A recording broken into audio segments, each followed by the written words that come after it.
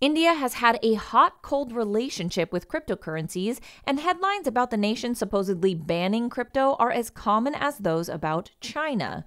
Yet, a few years ago, India started removing specific banknotes from circulation and in 2018 attempted to outright ban private cryptocurrencies. Viewed over the long run, it is clear that the government has been attempting to install an element of control over its currency in anticipation of a big shift.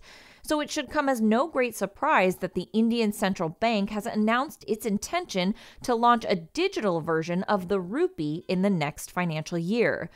The move has been instigated by two objectives the first is to give a big boost to the digital economy in India, and the second is to optimize the currency management system in the enormous country.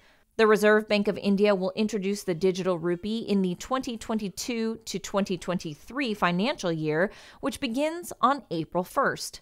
No details about how the digital rupee would work or what it would look like were given, but journalists were told that it would use blockchain and other technologies.